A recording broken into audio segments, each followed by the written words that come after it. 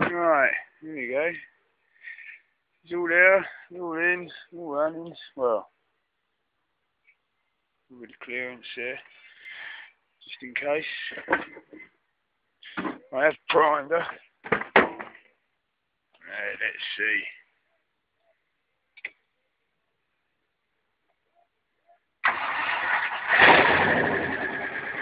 Oh, there you go. Got to connect the silencers up yet.